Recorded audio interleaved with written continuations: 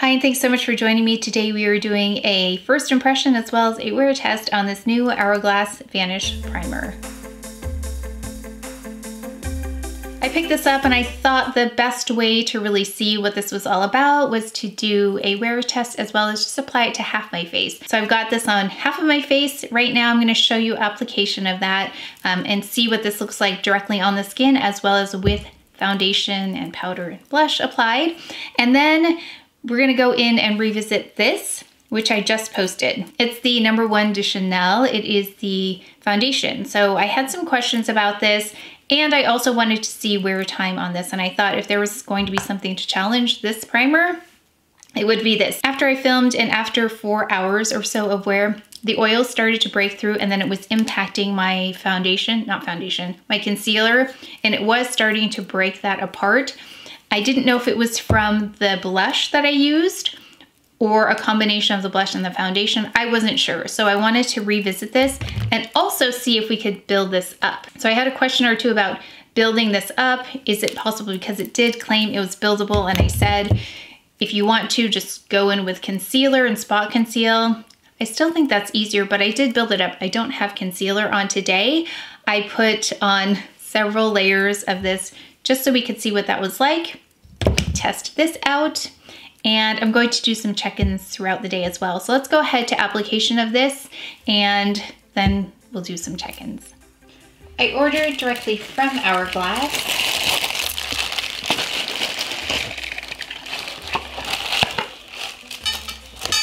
This is the Vanish Airbrush Primer.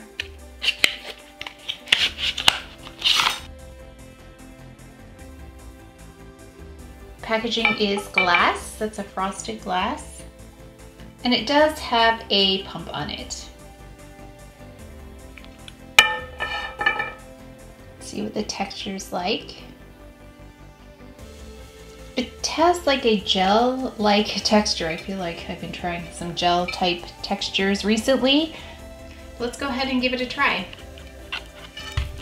Let's just do half the face with primer and we'll do a wear test.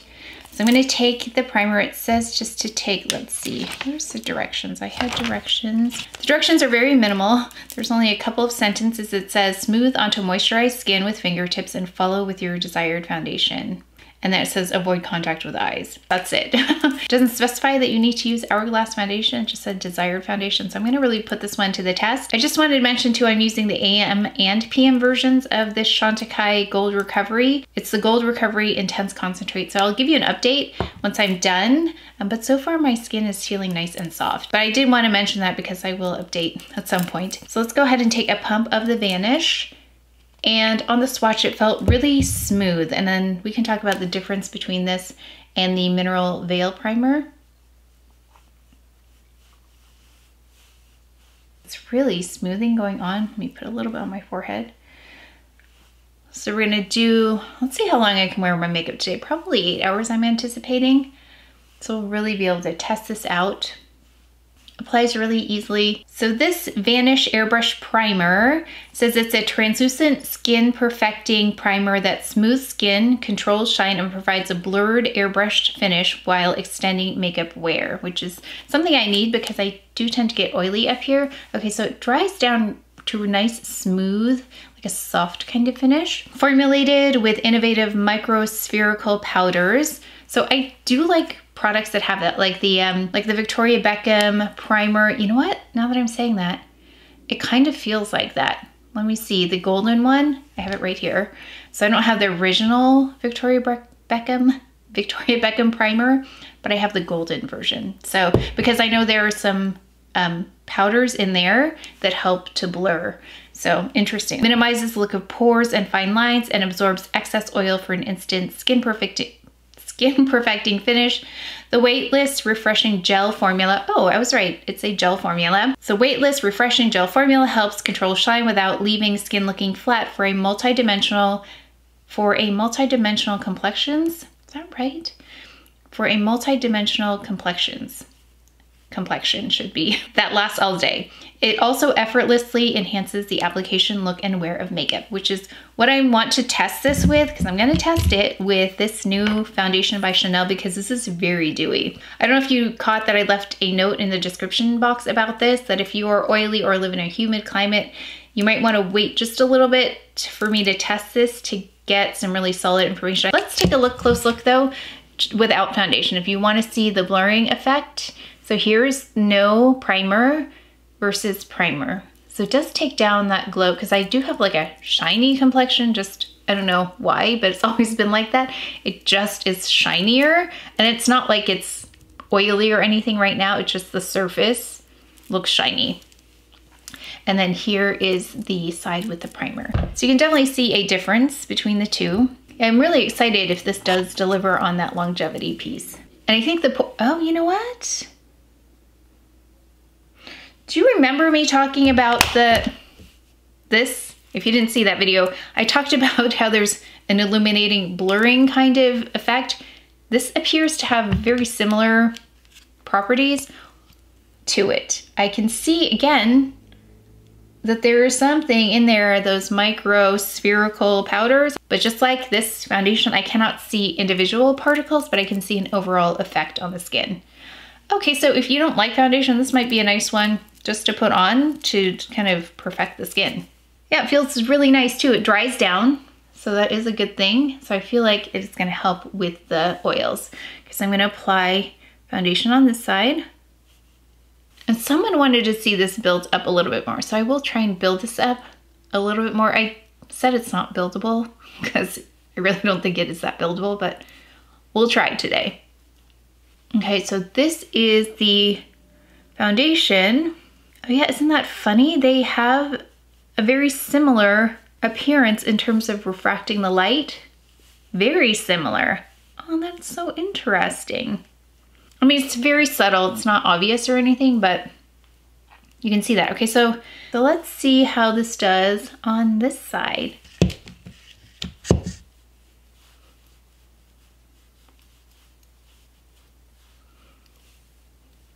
So it does feel smoother, like the surface feels smoother.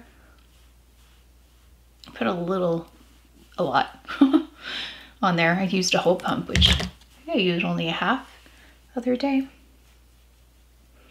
Now there is something, yes, I don't know if you can see that, but there's a little bit of pilling of something, but I went in with a couple of serums and the blue light hyaluronic serum, when you put too much by Chantecaille, that can happen. So I don't know if it's from that or the primer, although this would be able to tell me.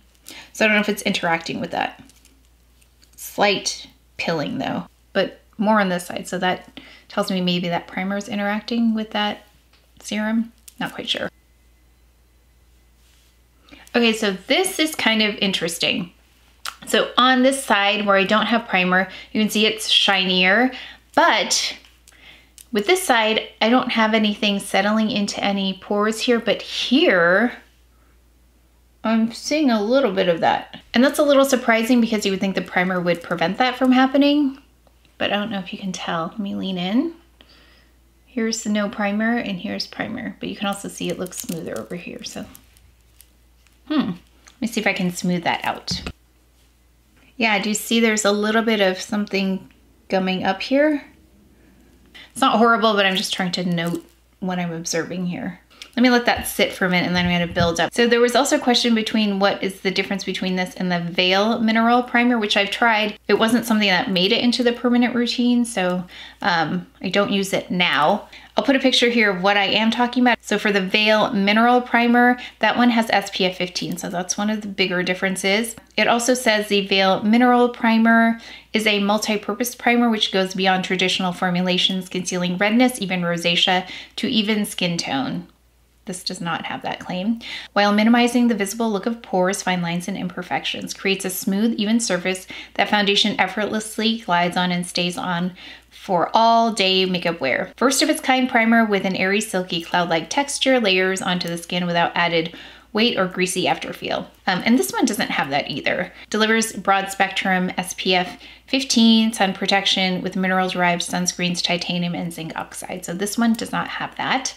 Appropriate for all skin types, even sensitive, blemish prone skin, repels water so makeup looks freshly applied all day long. So that's the difference between the Veil Primer and this one right here. But let's build up the foundation right in the front.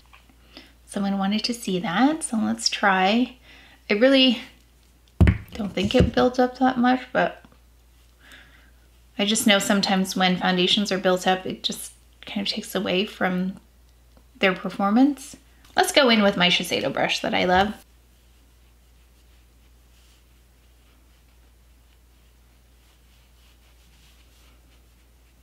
Yeah, I am noticing this foundation is looking better applied with a brush with a primer side versus just going in with clean hands. Okay, I'm gonna add a little bit more. Let's see how much we can build this up.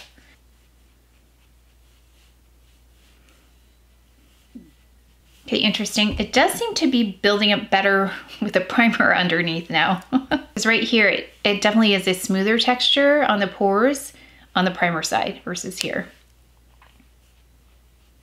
Okay, so maybe we'll do no concealer today, and then that'll really test actually both products. So building up is actually working, but it's taking time. I mean, it's way easier to go in with a concealer, but it is building up better on the side with primer. I'm giving it time though in between layers. And then let's test this without concealer today.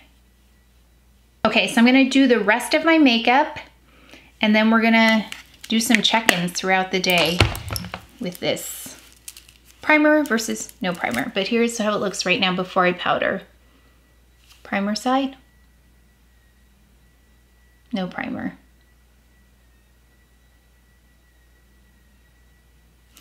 Check the claims on this one. Airbrush soft focus effect. I think you could see that with the micro spherical powders. I think that's what they call them. Let's see, is that what it's called? Yeah, micro spherical powders. Um, translucent finish, yes, but there was that refracting of the light though, so just know that. Smooth and even skin texture, it was definitely smooth and it I think because of that technology, it did appear more even. Blurs imperfections, agree with that. I mean, not a whole lot, but it did blur it. Absorbs oil to balance skin and control shine. We're gonna test that. Minimizes look of pores and fine lines. I think we could see that here. Did a pretty good job. And then um, extends makeup wear. We're gonna test for that. Enhances the application and look of makeup, vegan and cruelty free. The only thing I got was that kind of that pilling, but again, I'm not sure what that was, but I had more over here than over here. Okay, so let me finish up my makeup. Okay, I was gonna come back with a completed look, but I just wanted to update you. Everything looks kind of stark because I just added eyebrows. I put my eye primer on, primer. I did not conceal my spots, but I did go in with the Perfect Blur Powder Chantecaille my favorite. I want to show you though the finish on powdered skin with the primer versus not. So it got much more matte here, but not in a good way. It was mattified here, but in a more skin-like way. So I thought that was kind of an interesting take on the primer versus no primer building up the foundation with the primer underneath and then powdering actually looks a lot nicer than building up the foundation and then just powdering. So I stand corrected on the building up of this. You can do it with primer, looks really nice, and with thin layers, but it does take time. So it is possible right there, so no concealer, uh, but I would recommend using a primer underneath even though you're supposed to go directly on the skin with this product.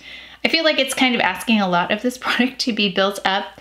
And I think it looks really lovely, just a nice thin veil of foundation. But for those wanting to know about if you could build this up, it is buildable. Maybe not the most practical thing, but it is possible. Okay, so now I'll finish the rest of my makeup. Okay, so this is how the makeup looks right after application. And one thing I noticed is that it does look much better on this side with the primer when built up versus over here. I think when the oils start to come through, it kind of evens everything out, but it does look more refined here just slightly versus this side. This side has a bit more texture on it. So you can really see my pores when I'm that close, but hopefully that helps you see the difference. Um, So really happy with this primer so far. I mean, they feel, the sides feel similar once the makeup is on, but so far happy with the primer. And again, no concealer. So it's around one o'clock now, so I'm gonna see how long I can wear this. I know we're gonna have dinner at some point outside, um, and so I'll check in late in the evening. I think I'll try to make it like eight hours, but I'll try to make sure to come back every once in a while so you can see what this looks like. So checking in, I just finished editing the um, Dior palette. Can't remember the organza palette. Yeah, so I just um, edited that video. Actually, I think it looks really nice in real life.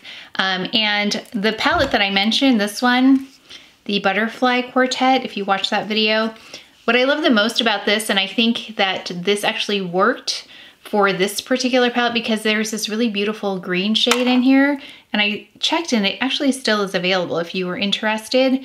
This shade is stunning, um, which is why this these really ethereal colors being kind of subtle work because this is such an outstanding shade right here. So that's why I think these two shades work really well against this. I haven't swatched the organza against this yet, but I just wanted to point that out because that's what makes this palette so special is this green shade. Okay, um, but checking in here, let me see really quickly. Let me use this mirror. So at this mark, about four hours in, was when I started to notice that this was breaking apart. Now I don't have concealer here, so that might have been what the issue was. Maybe the two things were interacting, the foundation and the concealer, although that Clé de Peau concealer has done really well with other foundations in the past, but doesn't mean it's gonna do well with every single foundation. Maybe this is the one where it's like, maybe doesn't do as well. But I have to say, the side that has the primer is looking so much better. Slightly blurred on this side and not as um, enlarged on this side. And the makeup itself is performing better on this side. And I'm really looking here because if I'm gonna see an issue, it's gonna be right here. So yeah, the primer side seems to be holding it better than this side and showing less texture than this side. But overall, the foundation itself, whether it has primer or not, did build up nicely and is holding its own. It's not puckering really. I'm not seeing that yet, but there's always time. So I'm gonna go, actually we're gonna go out and eat dinner now and then I'll come back and check in. I don't know how many times, depends on when we get back, but I will check in with you, but it's looking, they're both looking really good. Um, but the primer side is looking better. Even though we had a little bit of that pilling earlier, um, it doesn't seem to have impacted anything else along the way and is extending the life of the makeup. Okay, so my eyes are red because it's late in the evening now. It's been eight hours, so it's almost 10 p.m. So we started a little bit after one, and what does that make that eight? No, maybe more than eight. So we're like eight and a half hours, yeah. We're more like eight and a half hours in because um, I'm ready to take my makeup off and get ready um, for the evening. So let's take a look at this. I We went out to eat. I did not powder or touch anything up. The only thing I did was add a little bit more of the lip gloss. Yeah, I added a little bit more of that lip gloss. I really like it. Um, once you get used to that tingling, it's fine, um, but I really like the shade. Okay, so let's take a close look here. I do stand corrected on the building up. I think I said it earlier. You can build up this foundation. Um, where is it? This one. It is possible. And it actually looks quite seamless when you do. You don't get any strange puckering with it, um, which can happen. And I also didn't get anything that changed the color. Sometimes when I build up even concealer sometimes, with so many layers, it starts to look a little bit green. So if you have dark spots, you probably know what I'm talking about. When you add layers and layers of foundation, if it doesn't have a peachy tone to it, typically it will start to look a little bit green or gray when built up. This one, however, built up really nicely and the color stayed true. So I was really impressed with that. Yeah, I'm really impressed with that. So it is buildable. It just takes time. That's what I'm gonna caution you with is that if you do want it, I mean, I might actually try something like this for a more perfected look just because I really liked the texture um, in terms of skipping concealer and using this to cover my dark spots. It's definitely something I would consider maybe for like an evening event. But here is the check-in on the the primer versus no primer. So here's no primer. You can see how I get oily here, right in this area. And I may have touched my um, face there. I really try not to touch my face in general, but I think I had a little itch right there. So I may have scratched that off, but you can see there's definitely more control of oil over here. It's still got kind of dewy, but it is more oily on the side. Just want to check these claims really fast while you take a close look at my skin. Um, Airbrush soft focus effect, it definitely had that. Translucent finish, yes, smooths and evens skin texture. It did, it felt really smooth to the touch. Blurs imperfections, I think you could see that. I actually have edited most of this video already, so I got to see the difference, and I think it captures it. it the video was able to capture what I was seeing. Um, absorbs oil to balance skin and control shine. So it controlled shine, not totally though, because you can still see, like, let me see if I can just touch this. How does this feel? See if I'm gonna disturb any makeup. I haven't touched my face. Oh, in fact, I forgot to tell you, not only did we go out to eat, we ate outdoors, but then we went grocery shopping and I had a face covering on. So yeah, it did well with a face covering. So I'm just touching this. It doesn't feel oily. It just is dewy looking. But over here, I have a feeling I'm gonna feel yeah, it's more oily on this side and I can definitely feel it right here, right next to my nose. And that's where you see the most. This is really only place it feels oily. Here it doesn't feel oily. So I am impressed with this primer. For a an oily T-zone person, you, I think you can see the difference. And that's eight and a half hours of wear. So uh, minimizes the look of pores and fine lines. I think you were able to see that in the video. Extends makeup wear. Yes, it did that. Enhances the application and look of makeup. I agree. But again, the brush, the Shiseido brush, I needed this to apply on the side with primer though. So if you do want to use this in a more kind of formal way versus a more casual way, this product here, um, I would use a primer and go in with a brush to apply it on top of the primer.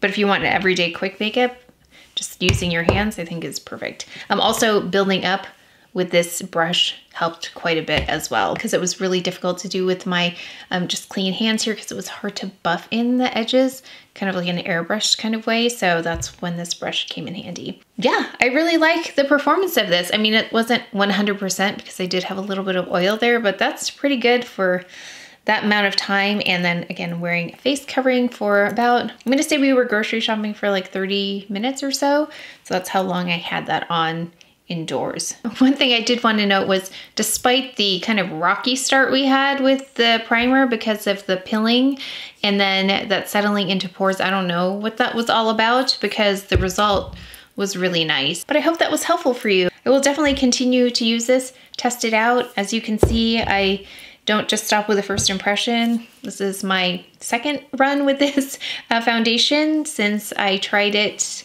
the other day. So I will continue to use this as well. So you'll get some long-term results. And if you are new here, the premise of my channel, oh, my nice hair here. The premise of my channel is that I try things out and the things that really work well stay in the regular routine and those things that don't work get cycled out. So I do try to identify the best of the best to the best of my ability. So that's why you do see things repeated over and over again, like my Sisley concealer, like the La Prairie, like the Gucci pencil, like my skincare. And I've had a chance to test so many beautiful products. So really finding the best of the best. So we will see if this makes it into the regular rotation. But that is it for today's video. Let me know if you enjoyed this format, if you were able to see what I was trying to describe, and if you liked me revisiting another product um, in a video that you could see because I am revisiting products in the background all the time, but this time I thought I would document it here for you. So let me know, I would love to know. But that's it for today's video, so please take care of each other. Stay well if you enjoyed this video. If you learned something, please give it a thumbs up, subscribe, and I will see you next time.